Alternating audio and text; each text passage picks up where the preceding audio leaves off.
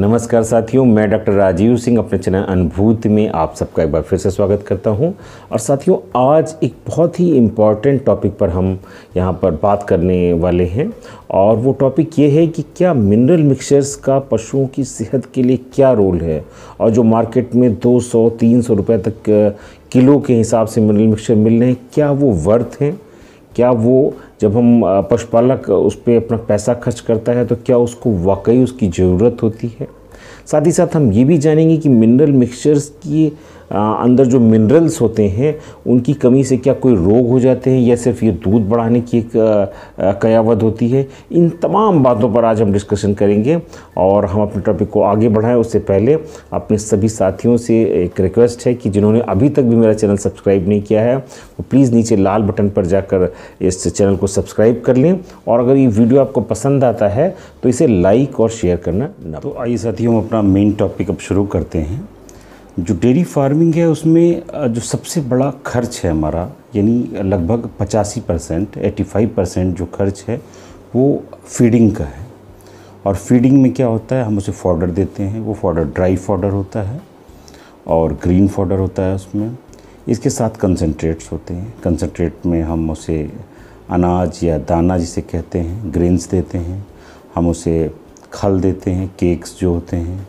हम उसे और भी जो ग्रेन से निकले हुए राइस ब्रान है या वीट ब्राउन है, इस तरह की चीज़ें देते हैं और साथ में हम उसके मिनरल सप्लीमेंटेशन करते हैं। जो लास्ट मैंने बात बोली कि हम उसमें मिनरल सप्लीमेंटेशन करते हैं।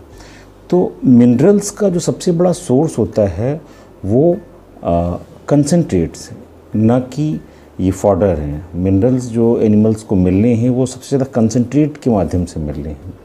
और ऐसे एनिमल जिन्हें कंसनट्रेट नहीं मिलता, जो सिर्फ़ ड्राई फॉडर या जो सिर्फ़ ड्राई और कुछ ग्रीन फॉडर उन्हें मिल रहा है, इस तरह से रह रहे हैं तो उनमें मिनरल डिफिशियंसी होना बहुत ही ज़्यादा देखा जाता है।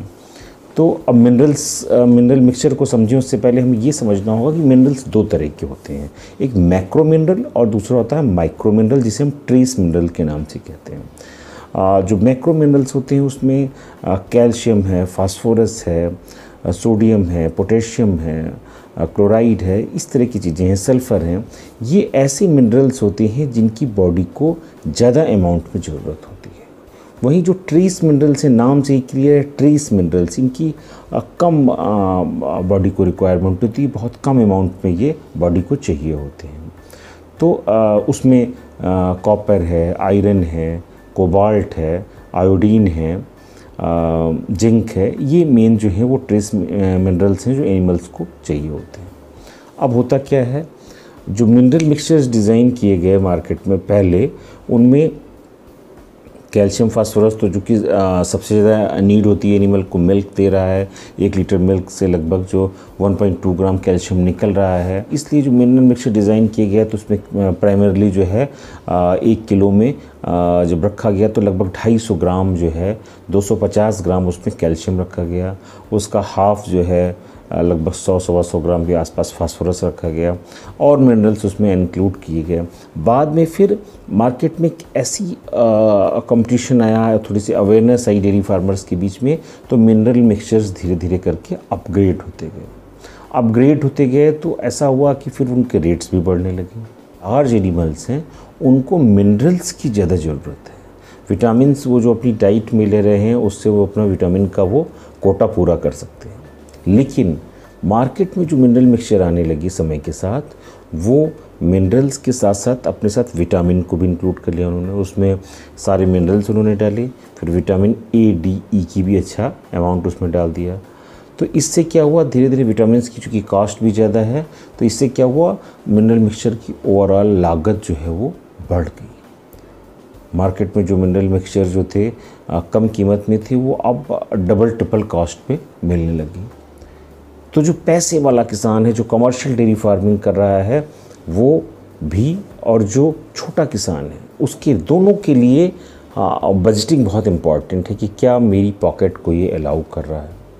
अब एक छोटा किसान है जिसके पास दो भैंसें हैं और जब उसकी भैंस हीट में नहीं आ रही, गर्म नहीं हो रही, तीन साल की हो गई, चौथे साल में पड़ गई, या और उसकी एज हो गई तो वो डॉक्टर के पास जाता है और उसे कहता है कि आप उसकी डिवर्मिंग करिए और उसको एक अच्छा सा मिनरल मिक्सचर दीजिए। उसको एक मिनरल मिक्सचर लिखता है, जो मार्केट में दो सौ, ढाई सौ, तीन सौ रुपये कॉस्ट करता है तो उसका एक या दो पैकेट खिलाता है as a part of treatment लेकिन मिनरल मिक्सचर डाइट का पार्ट है, ये हमें समझना होगा कि हमें अपने एनिमल को थ्रू आउट द ईयर हर समय वो प्रेग्नेंट है, वो खाली है, वो प्रेगनेंसी की किस स्टेज में है, हमें उसे throughout the year mineral mixtures अपने एनिमल को मिनरल्स देने होंगे। तभी वो हेल्दी रहेंगे, उनका प्रोडक्शन बढ़िया रहेगा और डिजीज़ेज़ हम अगर देखें तो बहुत सारी बीमारियाँ, बहुत सारी बीमारियाँ जो हैं वो मिनरल डिफिशियंसी की वजह से हो रही जैसे जैसे हम अगर ये देखें कि कैल्शियम लेते हैं, अगर कैल्शियम की डिफिशियंसी होती है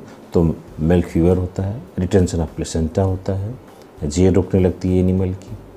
और प्रोलैप्स जो वेजनल प्रोलैप्स जिसे फूल दिखाना बेल दिखाना कहते हैं, कि उसका पीछा दिखा रहा है, इसमें भी कैल्शियम का बहुत बड़ा रोल होता है।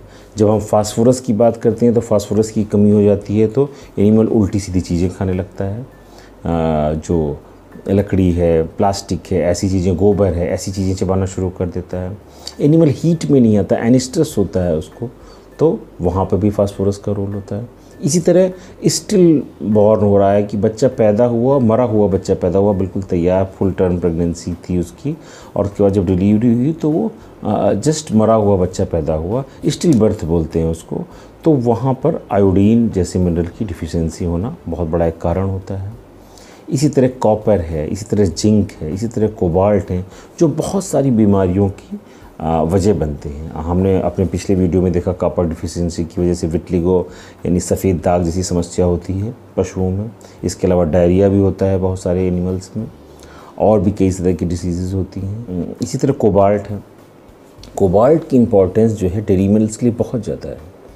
अगर कोबाल्ट नहीं होगा तो र्यूमिन में माइक्रोब जो हैं, वो विटामिन बी ट्वेल्व का सिंथेसिस नहीं कर पाएँगे। और विटामिन बी ट्वेल्व जो है, उसकी क्या इंपॉर्टेंस है, उसके लिए पूरा एक वीडियो कम पड़ेगा। विटामिन बी ट्वेल्व जो हमारे प्रैक्टिशनर्स आती हैं या जो लोग इसे व्यवसाय से जुड़े हुए उन्हें पता है विटामिन बी ट्वेल्व यानी साइनोकोबालामीन या मिथाइल कोबालामीन इनके इंजेक्शंस हम तमाम बीमारियों में नर्वाइन डिज़ीज़ में अपने पशुओं को देते हैं, भूख के लिए भी देते हैं।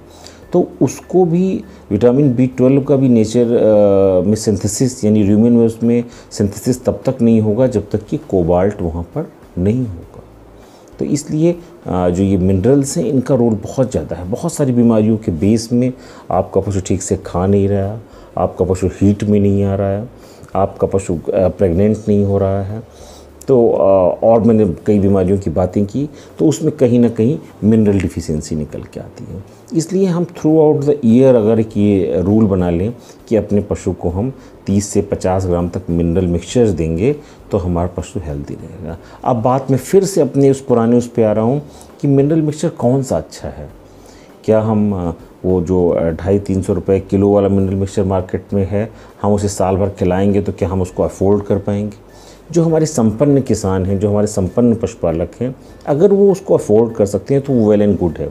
क्योंकि जो चिलेटेड मिनरल्स हैं चिलेटेड मिनरल मिक्सचर्स हैं, उनमें जो मिनरल्स हैं ट्रेस मिनरल्स हैं, वो चिलेटेड फॉर्म में ही, यानी बॉडी को ज़्यादा मात्रा में ऑलिबिलिटी है उनकी। इसी के साथ साथ उनमें विटामिन की भी एक अच्छी डोज है। कुछ चीज़ें और मिलाई हुई हैं, किसी ने बफर मिलाया हुआ है, किसी ने लाइविस्ट मिलाया हुआ है तो वो तो बेटर है ही है। लेकिन उस हिसाब से उनकी कीमत भी काफ़ी है। अब हम बात करते हैं कि अगर हम अपने पशु को सिर्फ़ प्योर मिनरल मिक्सचर दें जिसमें विटामिन ना हो तो आप कहेंगे, क्या मार्केट में ऐसे प्रोडक्ट्स हैं? तो जी हाँ साथियों, मार्केट में प्योर मिनरल मिक्सचर अवेलेबल हैं, लेकिन कोई भी कंपनी, कोई भी जो ये फार्मा कंपनी है, वो कभी भी अपने ऐसे मिनरल मिक्सचर का प्रचार नहीं करती। उसको किसी किसान को नहीं बताती उसको किसी पशुपालक को उसके बारे में नहीं बताती। वो बताते क्या हैं?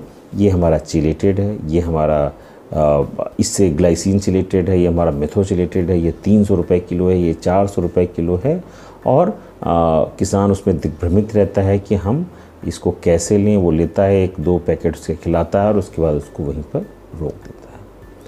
तो इन चिलेटेड मिनरल्स की रेस में अगर आप नहीं पढ़ पा रहे हैं, उसको नहीं अफोर्ड कर पा रहे हैं तो आप बड़ी आसानी से अपने पशुओं को स्वस्थ रख सकते हैं, उन्हें बीमारियों से बचा सकते हैं और उनका दुग्ध उत्पादन भी मेंटेन रख सकते हैं। वो कैसे? आप उन्हें प्योर मिनरल मिक्सचर दीजिए। प्योर का मतलब जिसमें विटामिन या एक्स्ट्रा चीज़ें नहीं हैं। वो मिनरल मिक्सचर अगर आप उसका बड़ा पैक लेते हैं बीस किलो के आसपास का तो वो मिनरल मिक्सचर आपको मार्केट में अस्सी से नब्बे सत्तर अस्सी नब्बे रुपए किलो की कॉस्ट में मिल जाएगा। जबकि जब आप चिलेटेड मिनरल्स पे जाएँगे तो वो आपको 200, 250, 300 रुपए किलो की कॉस्ट पे मिलेंगे। फ़र्क कितना है कि उसमें चिलेशन है इसमें चिलेशन नहीं है और साथ ही साथ उसमें आ, कुछ विटामिन ऐड किए हैं विटामिन ए डी ई और इसमें विटामिन नहीं। लेकिन मिनरल्स की जहाँ तक बात की जाए मिनरल्स सारे इनमें भी हैं। तो क्यों ना जो पशुपालक अपने पशुओं को मिनरल मिक्सचर्स नहीं दे पा रहे हैं, वो इस मिनरल मिक्सचर को लें जो मार्केट में अस्सी रुपये नब्बे रुपये किलो की कॉस्ट पे अवेलेबल है और अपने पशुओं को पर डे वो पचास ग्राम देना शुरू करें। विटामिन की जो रिक्वायरमेंट है वो पशु हरा चारा अगर ठंड का मौसम है, जैसे उसके पास बरसीम है जई है या बारिश के दिनों में मक्की है तो वो उससे विटामिन की रिक्वायरमेंट अपने आप पूरी कर लेगा। अगर वो हेल्दी है तो विटामिन बी ट्वेल्व का सिंथेसिस वो अपने आप ह्यूमन में कर लेगा। तो उसकी आप बहुत ज़्यादा चिंता ना करें। अगर आपके पास थोड़ा बहुत हरा चारा सीज़न में रहता है। लेकिन मिनरल मिक्सचर्स का समावेश उसकी डाइट में उस पशु को स्वस्थ रखेगा और फिट रखेगा। मैं आपको जैसे एक एग्जांपल के तौर पे बताता हूँ। मार्केट में एग्रीमिन एग्रीमिन नाम का मिनरल मिक्सचर है। अब अगर हम इसके और एडवांस फार्म में जाएँगे तो एग्रीमिन फोर्ट एग्रीमिन चिलेटेड इस तरह की प्रोडक्ट्स हैं जो थोड़े से महँगे हैं।